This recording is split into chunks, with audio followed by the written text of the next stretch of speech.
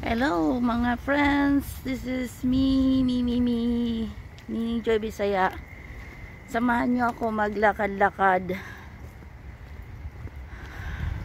sa aking neighborhood. Itutour ko kayo kung saan ako'y naglalakad papuntang uh, seafood city namin dito sa Illinois sa may Chicago po siya banda. Chicago, Illinois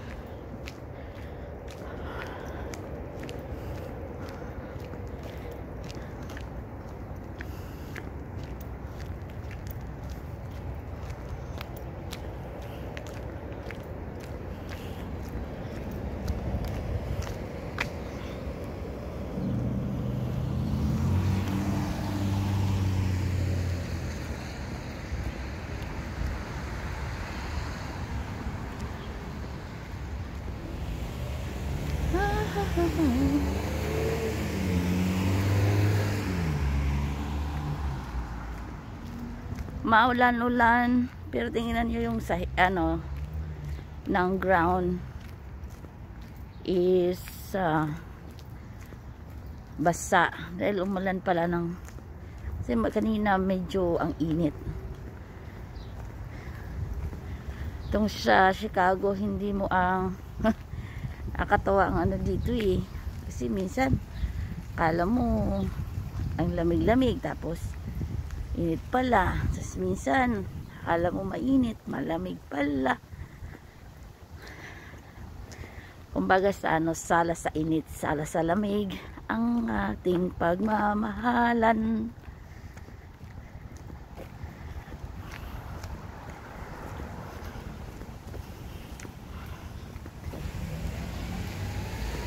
Least uh, ilang araw na siyang medyo mainit sa labas sana ito na tuloy-tuloy na tong ating kuan. Ang aming warm weather dito. Kasi hindi mo minsan alam kung anong isusuot mo eh. Kasi sa balita a day before two days before magwa-warm. Tapos pagising mo ang lamig. Parang nakakatawa kasi po yun na ang tagal ano, parang hindi kami dumaan ng spring. Kasi kahit spring na medyo may snow pa kami.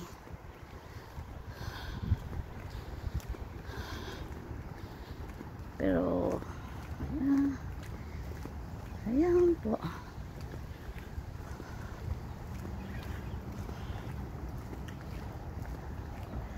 Ayan natin isa. Ito po ay yung ano, daanan ng train. Mitra train ang tawag doon. Kasi malaki po siya na train uh, double deck.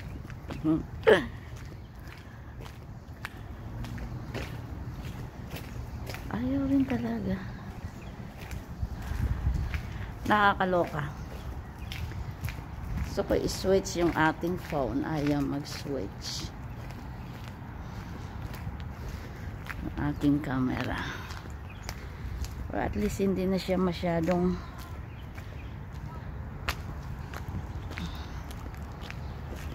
ano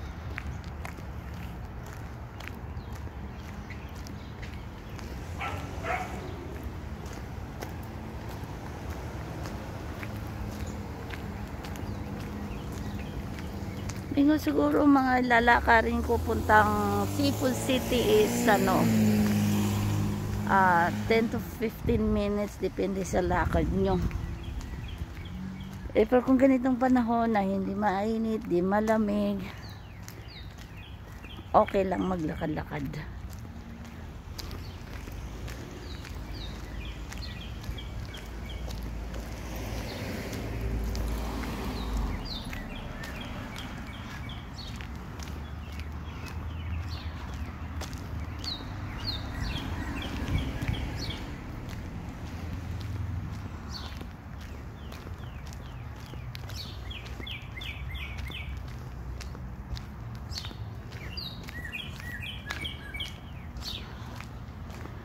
Mga puno dito eh alagang-alaga nila.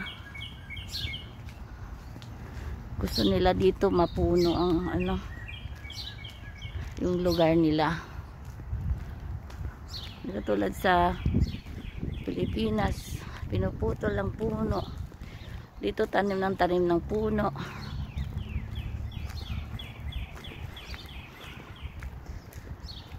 Medyo malapit-lapit na tayo. Mga ilang hakbang pa.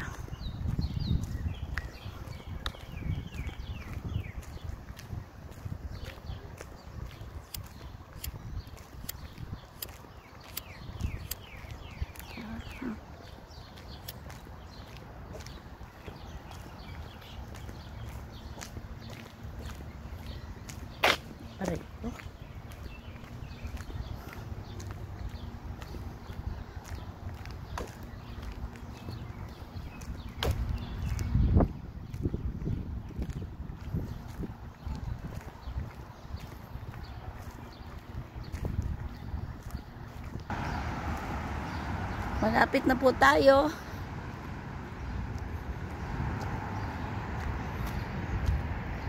Ito pong street na nakita nyo na Elston Street. Yan po ang pupunta ng Seafood City. Malami, may malapit lang kami sa tindahan ng Filipino store. Yan po.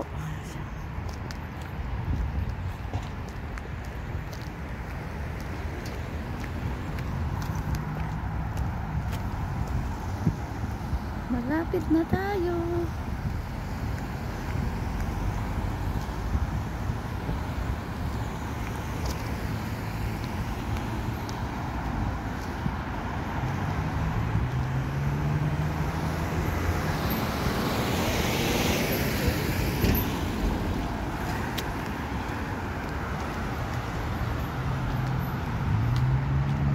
Ito po yung subway na malapit din sa amin. Walking distance lang din po.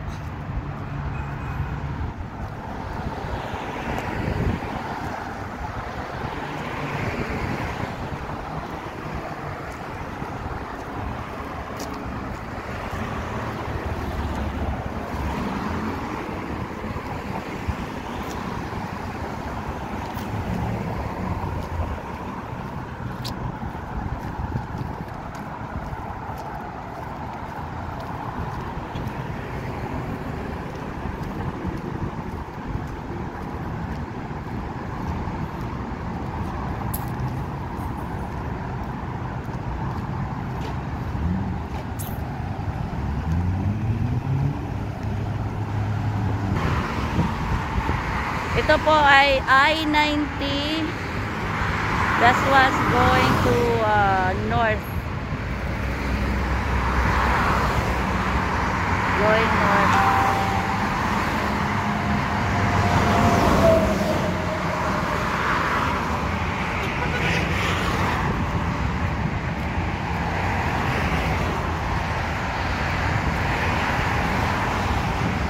Dun papuntang sa kabila ayon ang pupuntang downtown.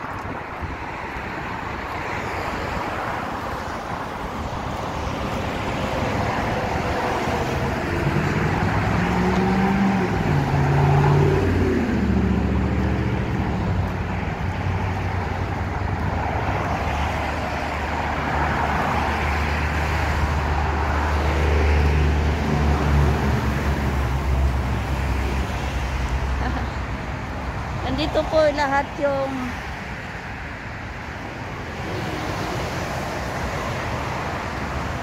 mga tindahan na gusto nating i-grocery. Yan po yung ano nila. Ang tindahan dito.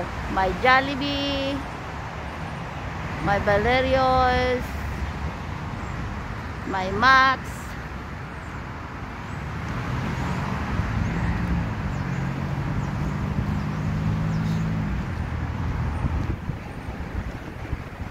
Kaya mag-enjoy na rin ako dito sa summer.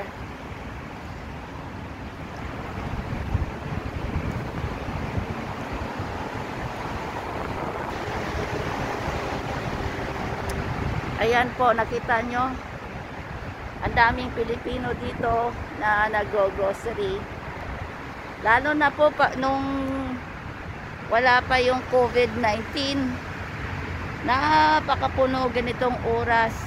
All day, every day most likely. Kasi um, dito po lahat nagpupunta yung mga Pilipino.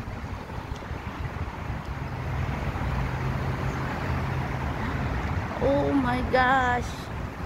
Nandyan po pagka ano ah uh, may mga bagong store din dyan. So ayan po nakita nyo na yung aming neighborhood.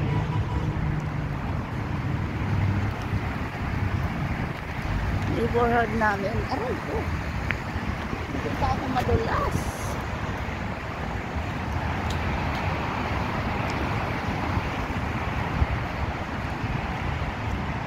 Tawid ako sa kabila. Ikot-ikot ko kayo dito.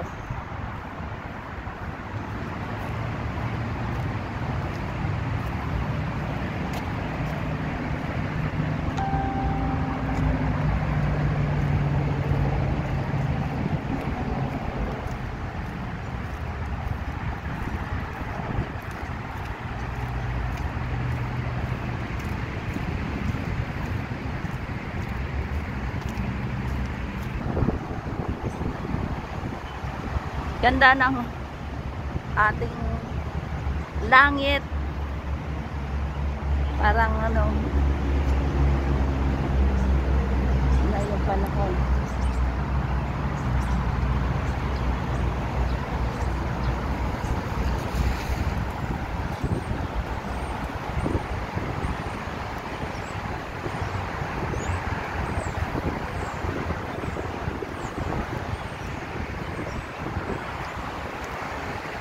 Hi po.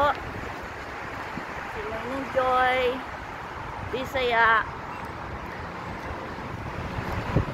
Lakad-lakad tayo habang maganda panahon. Kasi pag mag-winter dito, mahirap maglakad.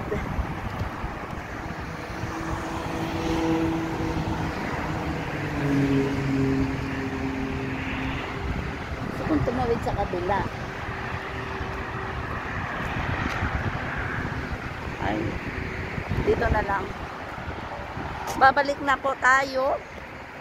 Ayan po, ang lakad ko ay mahigit 15 minutes.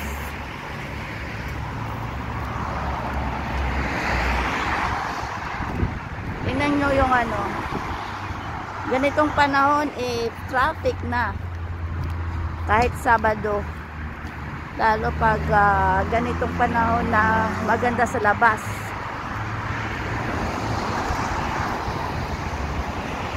Pero tingnan mo kung gaano kabilis yung andar ng sasakyan.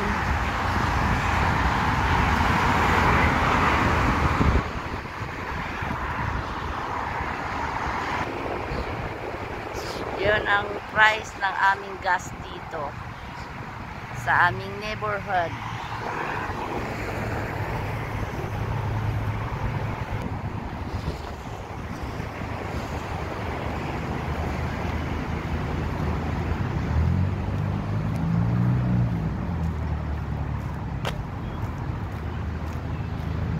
Ah, babalik na po tayo. Pasensya na po kayo dahil uh, makakuha ako lang ng video na naglalakad.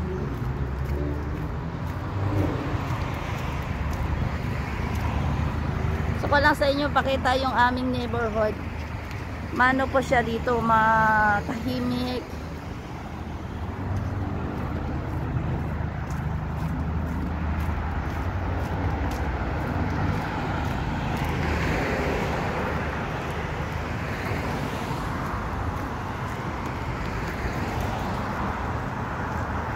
Okay po, uh, salamat sa samahan, sinamahan nyo ako kahit na recording lang to.